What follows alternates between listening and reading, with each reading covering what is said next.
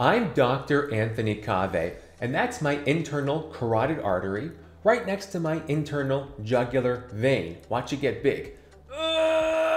And right next to it is a bundle of nerves that controls how I get triggered, both emotionally and physically. That bundle of nerves is called the stellate ganglion. It's what makes your heart rate and blood pressure go up, your palms get sweaty, your pupils to dilate. It sounds like a panic attack or a PTSD flashback.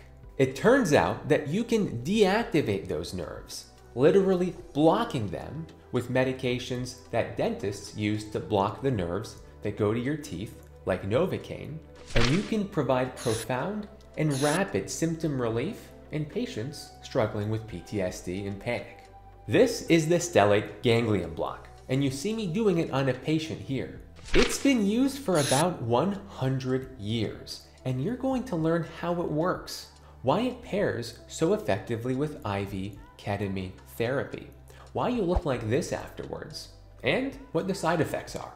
Let's start with how we do the stellate ganglion block. If you remember from the ultrasound, the internal carotid artery is right on top of the stellate ganglion. So 100 years ago, doctors would actually tug aside the carotid artery and put a needle through the front of the neck to numb the stellate ganglion. Later on, with the advent of x-rays, we were able to better visualize where we deposit that local anesthetic medication.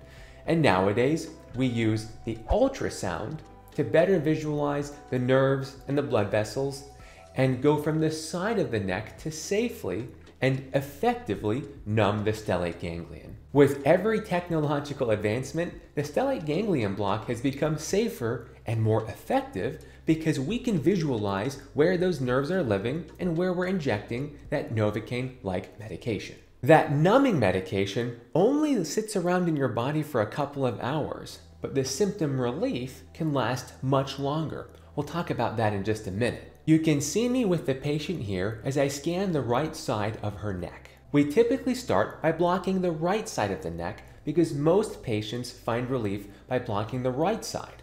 In some patients, we'll then block the left side a couple days later. Once I've identified the right levels to inject on the stellate ganglion, you'll see on the left side of that screen my needle going to that site. The tremendous advantage of ultrasound is that I can visualize the other nerves in the area and the blood vessels to minimize the risk of traumatizing them as we block the stellate ganglion. This is why the ultrasound has made this procedure so much safer and faster. Once I numb these nerves, the patient will begin to feel the effects within just a couple of hours, even if the PTSD has lasted for years. Next, how does the stellate ganglion block work? The human brain learns when something new happens, whether you're reading a book or doing a science experiment. When the brain gets used to a habitual response, it gets ingrained deeper and deeper, whether it's a slot machine, a shot of whiskey, a cigarette, or even invoking your body's fear response over and over again to the same triggers. Your body's fear response is reinforced every time it is triggered. And as this happens over time, your body gets used to responding to triggers in the same way. This is caused by your sympathetic nervous system, that fight-flight response that releases a surge of adrenaline or noradrenaline every time you get triggered. And if you can break that response, even for a brief period of time, your brain can now learn that there is a different way of responding to those triggers. We call this neuroplasticity, literally rewiring nerves in your brain, showing that there are different ways of thinking, different ways of responding to those triggers that once stimulated your sympathetic nervous system so strongly. Because now, when your body is exposed to that trigger, but the fight flight response is attenuated or weakened because we've blocked the nerves in the stellate ganglion, the mind-body connection can be reset. IV ketamine also promotes a powerful neuroplasticity that can synergistically combine with the stellate ganglion block so your mind and body can learn new ways to respond to those triggers. I have many videos on IV ketamine, you can see them in the link below. The stellate ganglion block, or SGB for short, and ketamine sound like miracles, right? That's not true. They are not a panacea, they're not a magic bullet. The only magic, if you will, that comes out of this experience is that it can help uncover your inner healing potential. That healing potential is often blocked after years and years of betrayed trust, of trauma, either emotional or physical. And these therapies help reset your mind and body so that your innate healing capacity can be accessed again. And that healing capacity doesn't need medications as often as it might have needed before. Doesn't have the same side effects. This healing potential is uncovered when your body learns new ways to respond to these old triggers. And that is why the benefits of the SGB and IV ketamine can last months and years, long after the medications have circulated out of your body. And therapy during that window of relief from the sympathetic nervous system can fundamentally change your relationship with those triggers so that you have more mastery over them and them less over you.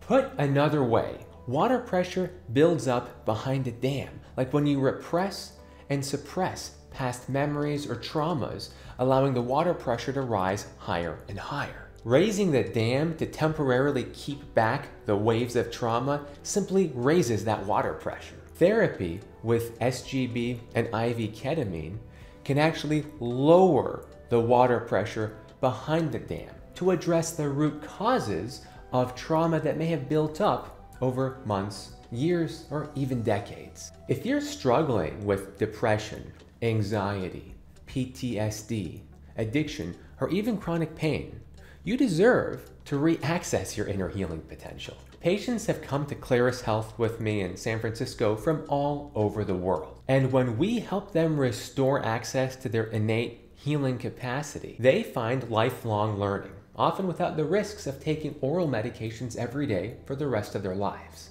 And if you're learning something new, please hit that like button, subscribe, and share what you're learning with others. And consider joining my exclusive access group, where you can join our private Zoom streams to ask me your more personalized questions live.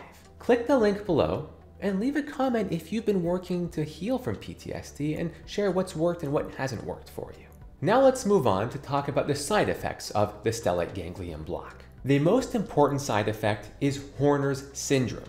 It's the physical effects of blocking the sympathetic nervous system. So we expect these effects. They only last a few hours, and they include a droopy eyelid, a constricted pupil, a stuffy nose, and a warm arm, warm hands, and warm fingers on the side that we blocked. And this should make sense to you because the sympathetic nervous system constricts blood vessels. It makes them smaller. So when we block the sympathetic nervous system, it makes the blood vessels dilate. When they dilate in your nose, it can cause congestion and a stuffy nose. When they dilate in your arms, it allows more blood to reach your hand and your fingers, and they will warm up. And these are the other reasons why we use the stellate ganglion block. Like in patients with Raynaud syndrome, when they have icy cold hands and fingers, blocking the stellate ganglion will allow them to warm up again or in patients with complex regional pain syndrome, whose pain is heavily mediated by the sympathetic nervous system, and blocking the sympathetic nervous system can help profoundly decrease their pain. Blocking the stellate ganglion can also block the nerves nearby it, like the vagus nerve, the recurrent laryngeal nerve, and the brachial plexus. The brachial plexus are the nerves that go into your arm to help give you sensation and motor function of your extremity. If the Novocaine-like medication reaches these nerves, it can cause hoarseness, it can cause an elevated heart rate and blood pressure, and it may even cause a little bit of weakness in that arm. Once again though, these side effects are typically transient and only last a couple of hours if they occur. Nerve injury is always a theoretical complication with any nerve block, and you need to let your doctor know if you have any pre-existing nerve problems or neuropathies, or if you have any heart problems because of those temporary side effects that can affect your cardiovascular system.